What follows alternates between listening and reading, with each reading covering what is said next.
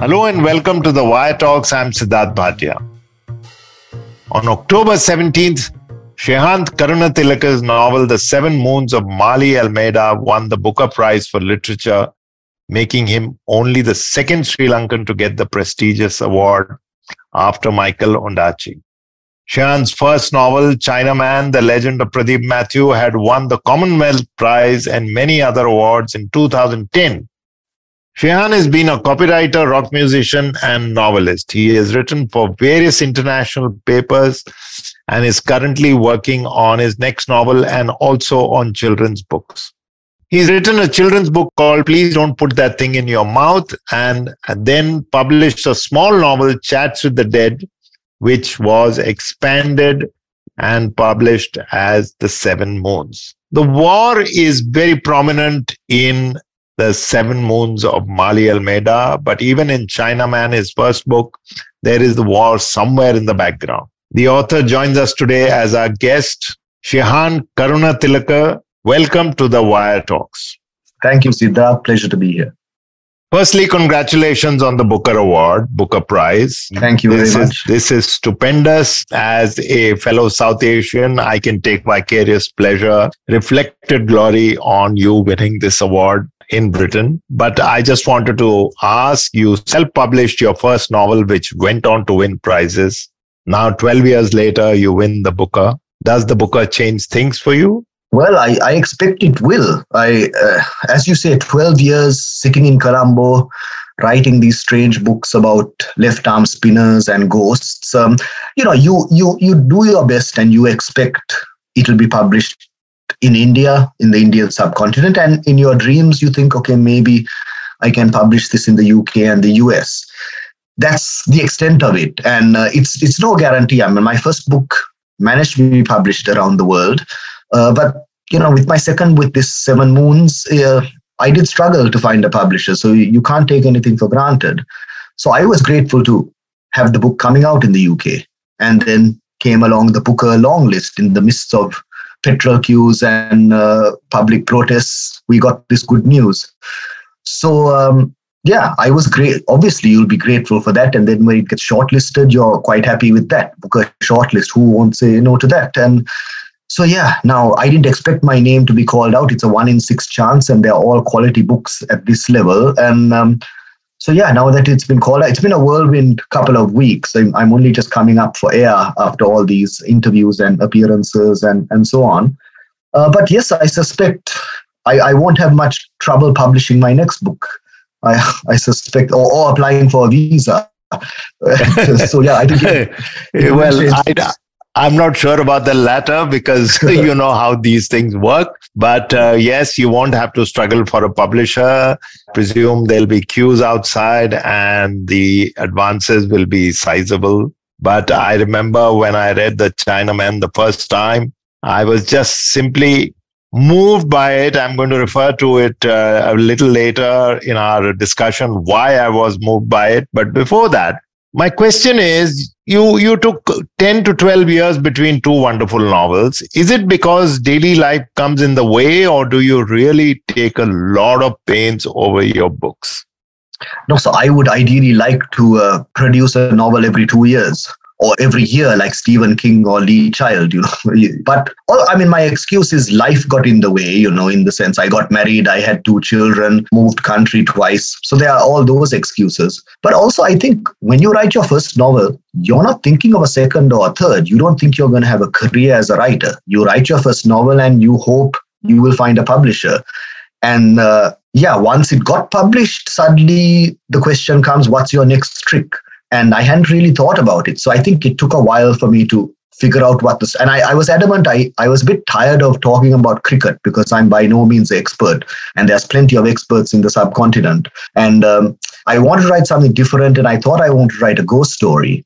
But yeah, life got in the way certainly. But also, it was a very complex story about uh, a very complex time in Sri Lanka's history. So yes, it, it took some time but I, I, I would like the third novel to appear in a couple of years. I, I, I don't think yeah, a novel every decade is a good business plan. But you know, it took as long as it took, and uh, many multiple revisions, and uh, it was published in the subcontinent and then it went through more revisions. But, you know, I, I just think along the way it became a better and better book. So that's why I, w- I was patient with it.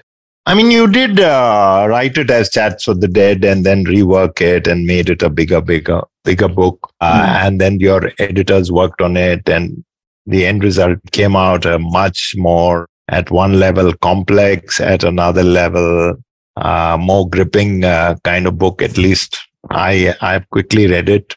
I need to reread it slowly, but it begins with the protagonist waking up and suddenly realizing he's dead and uh, looking all around him and slowly the recognition dawns that everyone around him is somebody who's uh, also dead and by various means that's where the hint of the war starts showing up.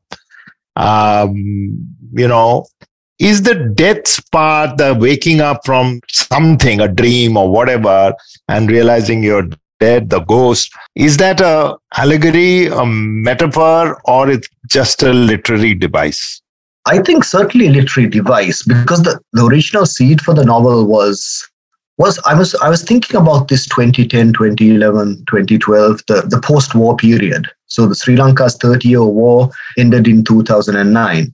And this was unthinkable at the time. We we grew up with it. We thought this was a forever war. We'd been through so many so-called ceasefires and peace agreements and new governments promising settlement. And the war continued all through my childhood, my teen years, and, and my, my young adult life. And so it ended in 2009, and it was such a period of hope. Uh, I remember, you know, so many Sri Lankans who were abroad were wanting to come back and invest and start things, and and you know, now now we're talking from 2022, and uh, you know, we, we see where Sri Lanka is now. But I remember that time in 2011, I was quite disappointed that we were arguing. We were still, we hadn't, didn't seem to have learned anything. And the debate at that time was the final phase of the war.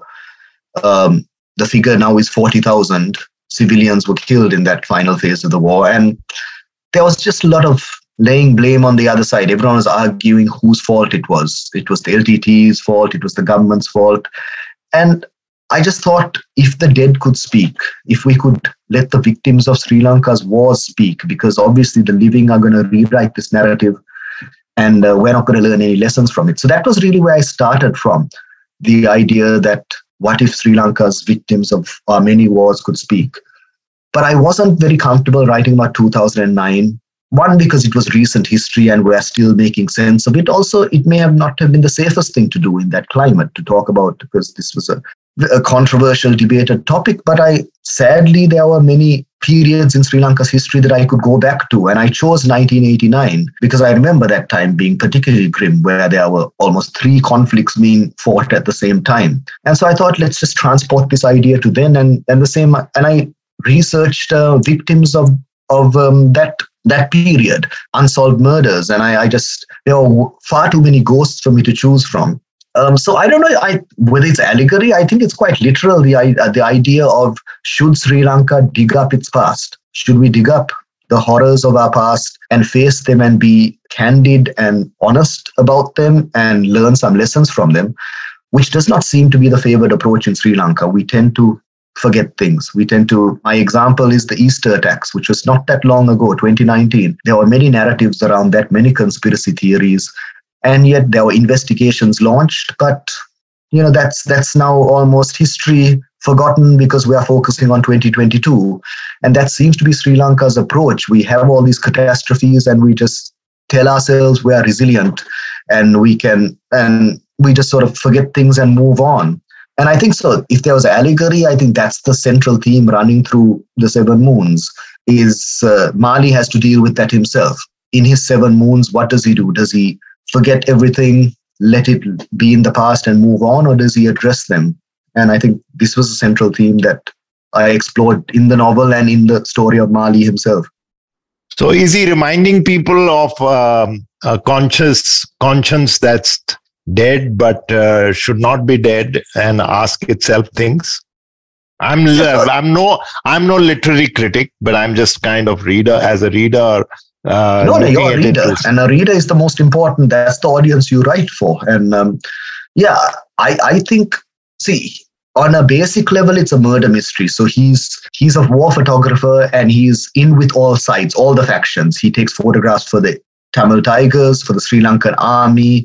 He strings for the for the British, and so he's involved everywhere. And, and he has this box under his. So one thing is, many people may have wanted him dead. So that's the basic engine that drives the plot. But also, he has this box under his bed of photographs that no one's seen of atrocities around Sri Lanka. And this was it's something that always bothered me that there's very there, there is photographic evidence, footage of our war years, but really not. And if you take 83, for instance, the the pogroms against the Tamil people, which many many cite as the beginning of the full scale conflict, there's about three or four pictures that we see every July that are commemorated on the internet, but. The, the, the atrocities were again there's no official count but thousands of people died and I just had this idea that I'm sure there were people with cameras walking around. And what happened to all this? Because when it goes into the past, it becomes history. And I feel photographic evidence keeps keeps things alive. And so this was the conceit that he he had these photographs that he thought can change everything. And so that's the thing that drives the plot. But yeah, I, uh, I'm, I'm forgetting the question because I'm rambling so much. But I believe Maali was that was his purpose to document these things because he felt people in Colombo and the rest of the world aren't aware of the Sri Lankan tragedy. And perhaps if they were aware through photographic evidence, these things would stop. It's quite a naive wish that fuels it, but that was really the, the backbone of the of the story. Is it uh, possible at all to write about Sri Lanka and uh, not write about the war? I mean, or to rephrase that, is it not at all possible to ignore the war if you are a person who writes wants to write about contemporary sri lanka because you do know that a lot of books that came out of the subcontinent were all about the exotica which was selling you know uh, cinnamon gardens and papayas and pineapples and guavas and things like that. Nothing wrong with them but i'm saying that you have confronted in a sense through a literary through literary means reality that you are saying many of your fellow citizens tend to forget and move on. Politicians would naturally like to forget, except for their own manipulation. And uh, if writers themselves forget it, then where are we? So, have there been good writing coming out of Sri Lanka? My question is twofold. One, is it possible to ignore it? Two, has there been good writing in Sinhala, in Tamil about these years? So that was my brief to myself for the first book, Chinaman, The Legend of Pradeep Mathew, was can I write a book um, that talks about Sri Lanka in the 90s that does not mention the war? And that was my challenge because I was also reading, and there's been a lot of great writing came out of the, of the 90s and to this day. So the 90s, the so my gurus were so Michael Ondaatje, Romesh Gunesekera, Shia, uh, Shia, I'm both were shortlisted and Ondaatje won the Booker Prize. Um, Shyam Selvadurai, who wrote Funny Boy, which was very groundbreaking work for the 90s, and Carl Muller, who I've talked about at length, not as celebrated as the other three, but um, wrote very Sri Lankan writing. But I, I noticed a theme. A lot of Sri Lankan writing was, yeah, it was talking about the war or ethnic conflict. And I just thought, can is it possible to write a book that doesn't mention that? And that's why I chose cricket and arak. I chose uh, to tell a story about two old men who just watch cricket and drink arak. And the war is happening somewhere else. And this was also my Colombo experience that I lived during the war and we had assassinations, bomb blasts, curfews, and all that. But we were insulated. Life went on in Colombo. Uh, while the war was being fought, a, a, bloody, brutal war was being fought in Jaffna and, and in the in the east. And so, so that was my. I, so I think it is possible. Look, Sri Lanka is not defined by its tragedies. Sri Lanka has many facets to it, and it's it is a beautiful island, and it's a, a great set for many stories. If you're thinking cinematically, um, so I think yeah, it is possible. There's plenty of stories in Sri Lanka that doesn't involve this. But having done that after China, so Chinaman, that was it. There's not much politics in Chinaman apart from cricketing politics and and, and so on. But then once I finished it, yeah, this book, you're right. I, I thought, okay, let's, I wanted to write a ghost story because I wanted to get away from cricket. But uh, yeah, once I got into the ghosts of 1989, there was pr- plenty of politics to talk about.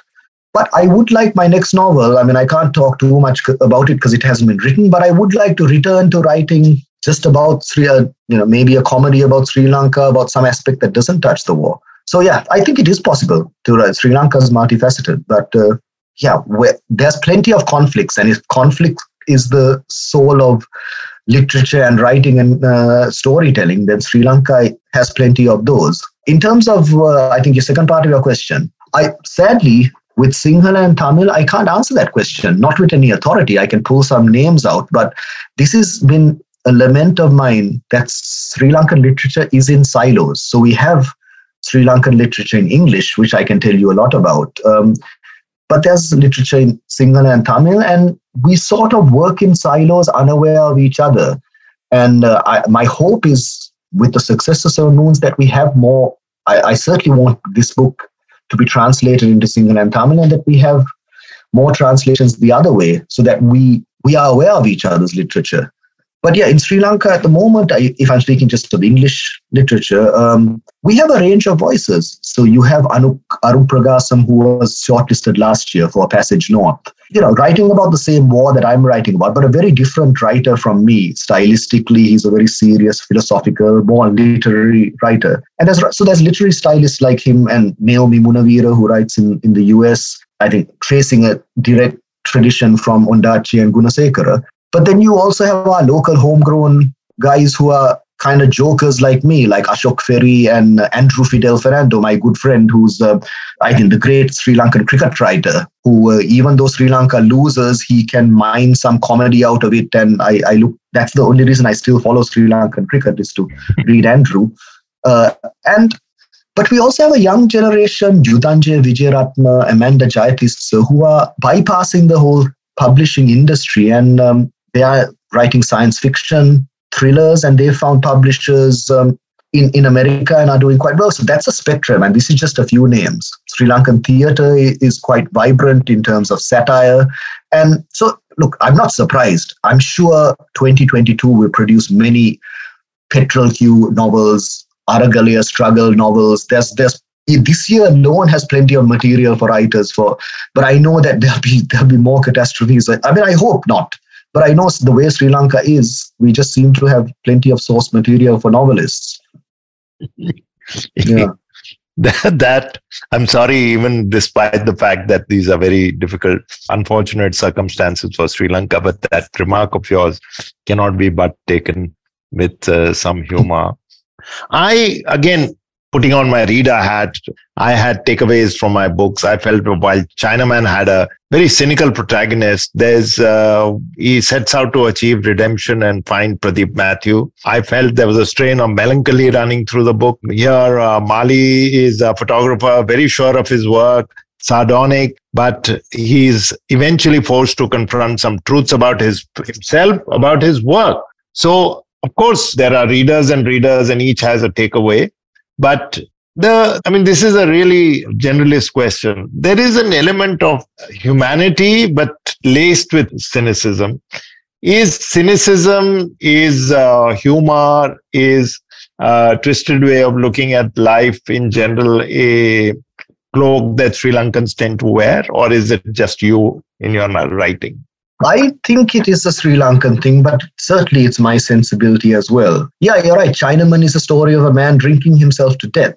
But while he's drinking, he's watching the 96 World Cup and rejoicing in that. And I just feel that's apt image for Sri Lanka that there is this joy, but there's this sorrow that underpins things. And people ask me this question. I've been asked this a lot in the last two weeks. Are you hopeful for Sri Lanka's future? And the thing is, look, I've lived through 40 years of this stuff. And uh, I've seen the many false dawns, the many, uh, we vote in a new uh, p- president and we think, okay, things are going to change. The And so, the and also I'm, you know, I suppose I'm part of Generation X. You know, we were the cynical, slacker generation, unlike the, the young now who have a lot more idealism and, and hope. Um, so that is my natural setting. And if you ask me, I mean, I hope now things have stabilized in Sri Lanka as opposed to the chaos of three months ago. So now there's hope again. People think, okay, now we're going to rebuild. But, you know, I, I've lived too long and I think is this is this really the is this what's going to happen or are we going to be in another mess next year uh, but I think you're right also in pinpointing at the center of the novels, both books, there is an element of hope. I don't think they are ultimately I mean, I don't want to spoil anything with the stories, but I think there is a there is hope at the heart of it.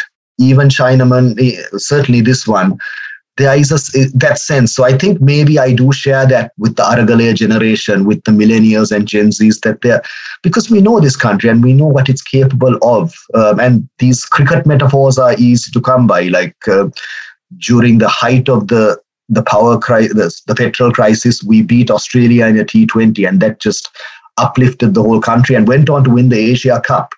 And there is this sense that even if we are five wickets down and up against it, we can somehow hammer our way out of it. And this is something to celebrate this optimism of the Sri Lankan spirit, but also, you know, I, I am a bit cynical. I think we should stop making jokes and dancing and actually just get serious and address these problems and reform. But yeah, I do think it's within the Sri Lankan character. There's even when times are grim, there's a lot of jokes and humor and gallows humor. And you can see that just go on Twitter during the heart of the Aragalaya and you just see the memes formed in these situations. You realize, yeah, we are good at making jokes at us. But I mean, what else? Otherwise, we're just gonna because if we get angry and grim, we know what Sri Lanka is capable of. We're also capable of great violence. So better to crack a few jokes and keep the peace, I believe. We'll be right back after this short break.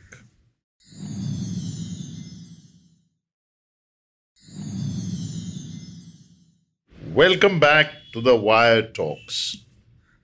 Yeah, well, in my many visits to Sri Lanka, I haven't been there for the last few years, but many visits during the worst periods in in Colombo, I must admit, which like any other big city is insulated and the Scotch parties continue. But even then, talking to uh, you know citizens who are not part of the inner um, Cinnamon Gardens crowd, if I may call it that, mm-hmm. the elite, I felt the distance was there, but to the common citizen, the daily harassment of, you know, bunkers or police stopping you. I mean, I was stopped at several times at the at night, so I could well imagine what. But you know, questions where are you from?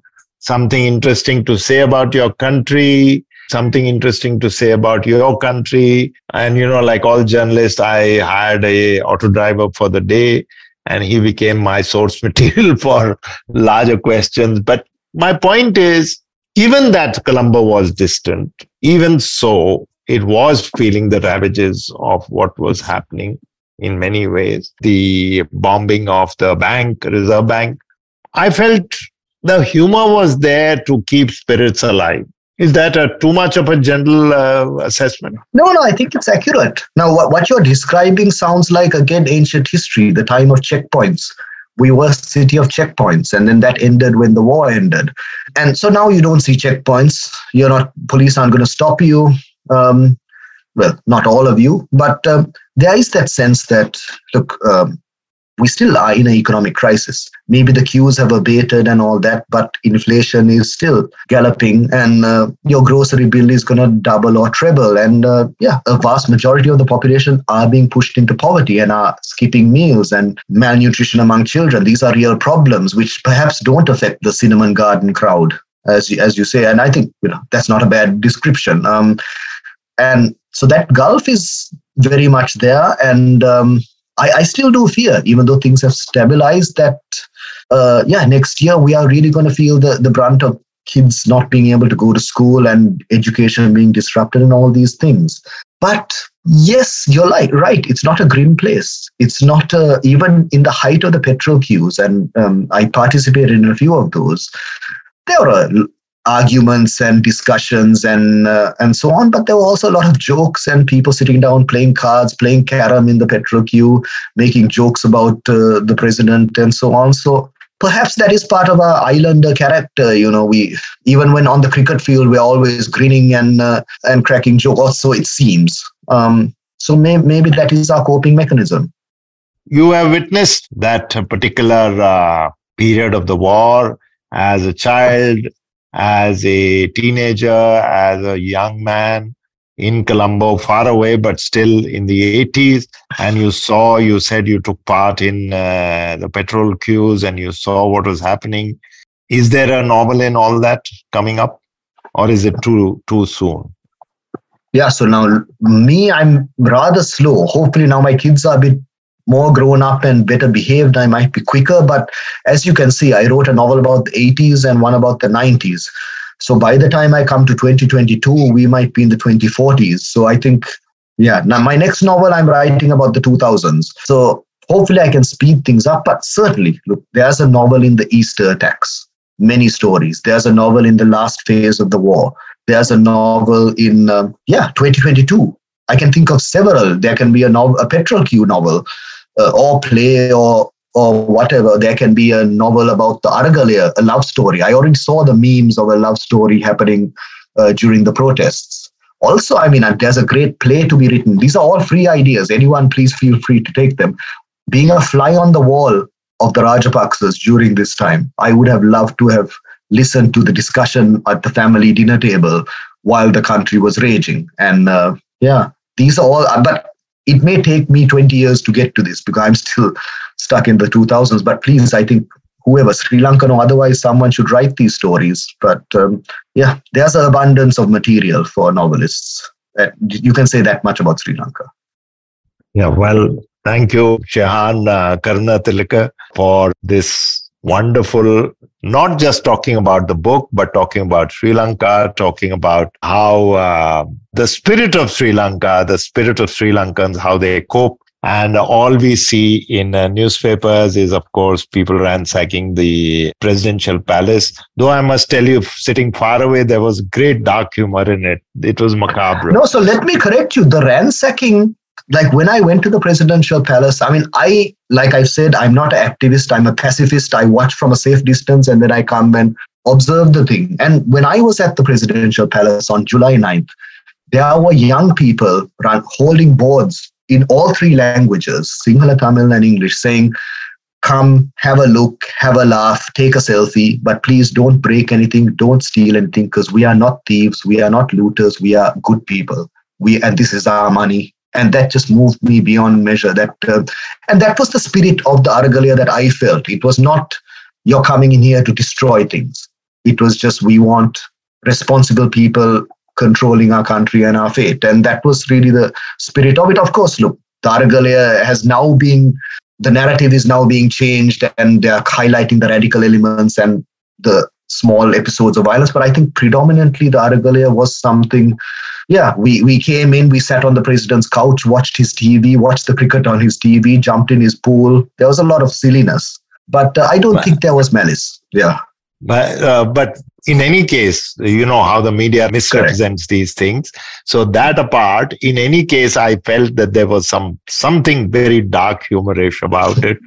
that uh, here is a, a, country asking for the powerful to give an account of themselves in that sense and saying and mm. shaking this man to run away from the country even if for a few days it was just mm. it was just to me as a sitting far away i thought it was a very very radical spontaneous combustion move so thank you very much as you said no dearth of stories novels plays films art in uh, sri lanka as indians who visit that place i certainly do we wanted to get back sooner than later. So thank you very much in the middle of your 250 interviews per day that you found time. But uh, look forward to meeting you if whenever you come to Bo- India or Bombay, really. Thank you, Srinath. And please come and visit us. I'll show you the new psychedelic bands in, in Sri Lanka. There's a few. And yes, I shall. Please. I, sh- I shall. That's, that's going to be uh, this bond and connection. So thank you once yes. again, Shehan. That was Shehan Karunatilaka, author of the, the Seven Moons of Maali Almeida, which has just won the Booker Prize, the prestigious Booker Prize, I may say. And as he said, now he won't have to struggle to find a publisher. I hope my conversations are keeping you updated on what's happening in India and the rest of the world. Along with The Wire, where you can listen to my show, You can also listen to it on IVM Networks, Audible, Apple Podcast, Amazon Music, Wynk Music, Spotify, and Listen Notes. A wide spectrum of platforms where the Wire Talks plays every week. We'll be back once again next week with another guest. Till then, goodbye from me, Sidharth Bhatia, and the rest of the Wire Talks team.